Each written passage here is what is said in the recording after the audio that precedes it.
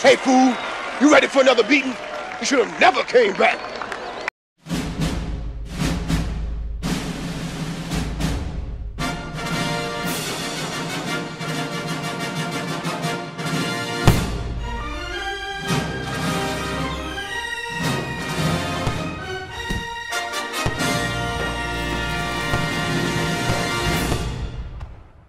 Well, Philadelphia, you've always got Philly cheesesteaks.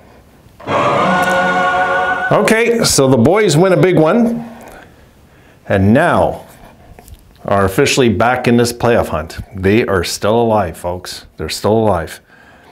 I know the odds are thin, but we're still alive. And if everything could go good one more day, we'd be right in this. So here we go again, getting our hopes up. I'm um, I'm, I'm kind of taken back a little by today because Detroit couldn't get it done in Detroit. They lost again in regulation, and the Capitals' friends were up two to nothing in their game by two goals by Ovechkin, and the Hurricanes storm back and win that 3-2 in regulation. So it's a good night of hockey for Sabres fans. With the Flyers losing in regulation too, of course. So let's look at the numbers. And folks, these numbers are brought to you by Roam the sweet but intense Little Bison. Here we go. Okay, shots on goal 34-19. And yes, that tells you how the game went, folks. If, in case you're wondering, haven't seen the game, yes, this is how the game went. The Flyers on the faceoff, 69%. The Sabres, 31.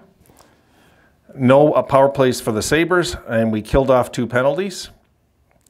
Hits in the game, 43 for the Flyers, 35 for the Sabres. At one point, we were being out hit 25 to 10, and we had like four shots on goal when they had like 22 or 23. It was just crazy what was going on at one point. They had uh, 16 blocks apiece, actually. Flyers, though, had nine giveaways. We had two. But they had nine takeaways. We had three shots on goal per period. First period 10-4 Flyers, second period 13-8 Flyers, uh, third period 11-7 Flyers for that 34-19 total. As you can see, was not an easy game. UPL was stellar in nets tonight. Scoring. Tage opens it up, his 28th of the season from Peterka and Tuch at 10.01. Sabres get that important first goal after one. We go to the second, Cates from Tippett and York at 9.07, tie at 1-1 at the uh, 907 mark, if I didn't say that. And Dahlin gets his 19th of the season from Thompson. And Tuck Thompson was really, really, I thought, in, in form tonight. At 1451, makes it 2 to 1 Sabres. And then Quinn. Uh, was kind of the Quinn night, though, in this game. Quinn from Benson and Power at 1954 really kind of puts you, would figure the nail in the coffin, but we knew the Flyers were going to come out strong in the third. We go to the third. Tippett from Sanheim and Laughton at 9.19. Pullett at that point within a goal, 3 to 2. And then Quinn again from Benson and Cozens makes it 4 to 2 at 13.59. Basically the Dagger there. But even then, the Flyers just were relentless in this game. So yes, we won this game because of goaltending and timely goal scoring by Quinn. Kind of wonder where our season would be if we would have had Quinn all year. I do wonder. But you know what? Every team has injuries, so it's not an excuse. Just curious, you know. This kid was next year to stay healthy, what are we looking at? He's going to be a year older, a year stronger. And uh, it should be really fun to see how this team, what they're going to become. So, so far the Sabres in games that they really, really had to win against the teams are trying to catch a two for two. They've beaten Washington and they've beaten these guys. And um, this, as, as we know, was a must win if we had any hopes of just sticking around. So let's look at the standings. Okay, the Flyers, I'm only cutting, I'm not showing uh, Tampa no more, there's no point, they're in.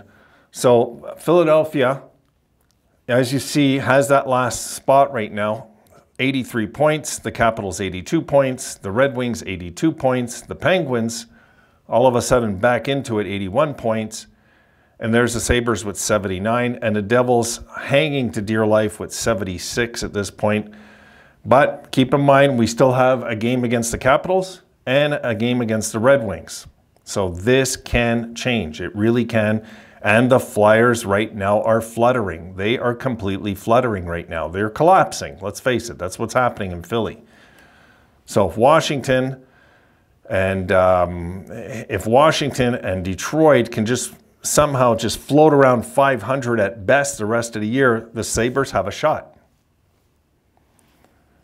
As do the Penguins, of course. Let's not forget the Penguins.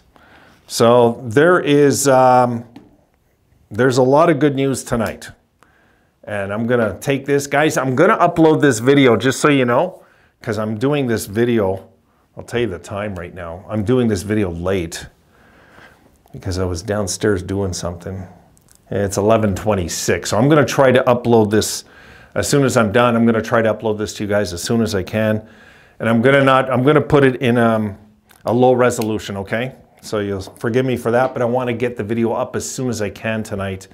So I'll keep it as simple as possible. My thoughts of the game. So UPL was stellar, especially the first half of this game.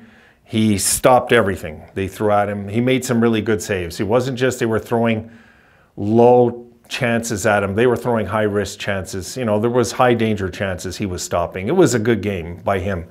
And Quinn also, uh, when we needed that goal, it seemed like he was the guy that was going to get it tonight. So it was just that kind of night. It was, uh, you could tell that the boys were in tune. Even Granato did the right thing. When, when the Flyers were all over us, you guys remember when they tied it up and Granato took that early timeout I was like, finally, he does something that makes sense, this coach.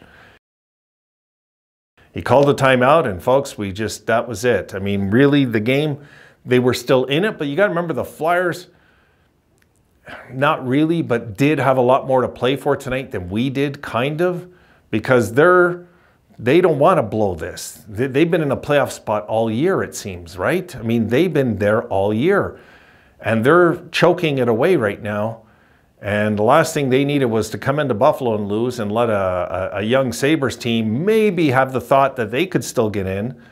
As uh, you know, it's starting to go like this all of a sudden. So we'll see how this pans out down the stretch.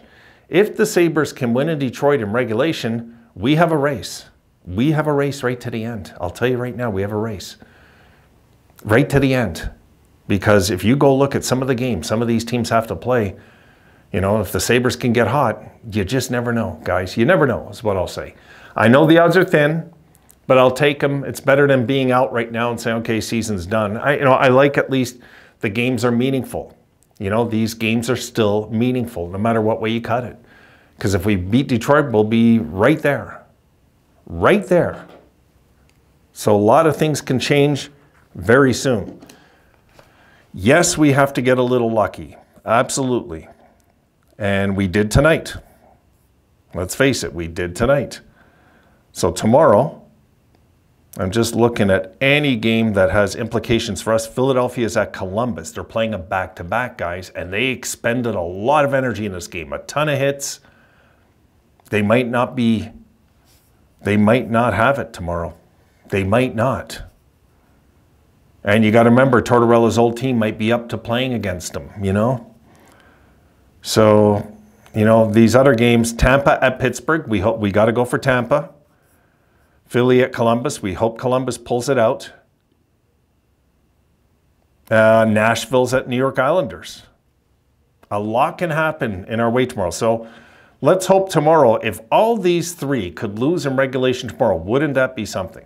All of a sudden, the doors open for this Detroit game to mean so much more than it would have just a week ago because that's the uh, matinee game the day after tomorrow is Buffalo at Detroit. And there is my season right there in my books. As a Buffalo fan, that's my season right there. The Sabres got to win that game, if for any reason, to wreck Detroit's chances. To wreck their chances.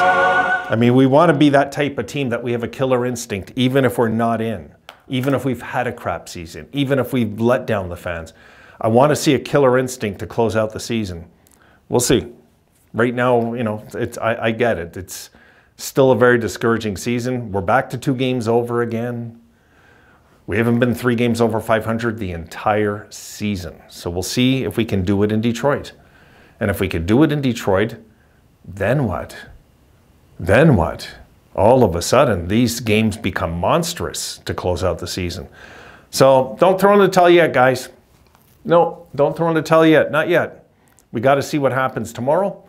And if that can go our way, at least partially our way, I would hope that, uh, you know, I, I, as long as there's no three point games, you know, we don't want, well, the, uh, the Islanders, we want them to lose to Nashville, which there's a good chance they could. Because Patrick was trying to bring in another system and they're still getting used to it.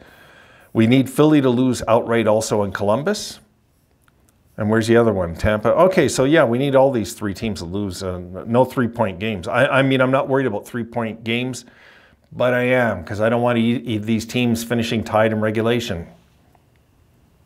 If it could happen our way tomorrow. Because if it could, this changes really quick. Because we're coming down the stretch run now. And if the Flyers lose, we'll be four points out of a playoff spot with a game in hand on them if all these teams lose. Four points with a game and we'll have a game in hand. So think about it, guys.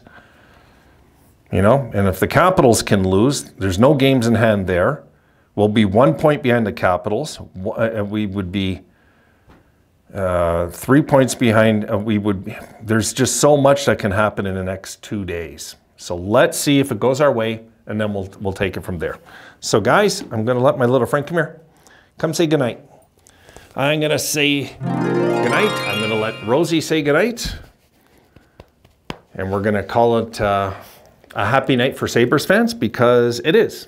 We're going to take this. We're going to just appreciate that we're still alive and see what can happen in the uh, in the upcoming games because if the next two days go our way wouldn't that be something if we all of a sudden we're just oh my god we're two points out now it could happen, but we have to have four games go our way, okay? If these three games can go our way tomorrow, we just got to beat Detroit. And if Detroit beat us, then that's as good as we were this year, folks. That's it. That's as good as we were. And there's nothing else we can say but that. All right, guys, done for the night. I got to get this up to you. It's late. It's going to be a late video. I'm sorry about that, but I'm going to put a rush on it. I'm going to upload it real quick and I'll see you soon. Have a good one.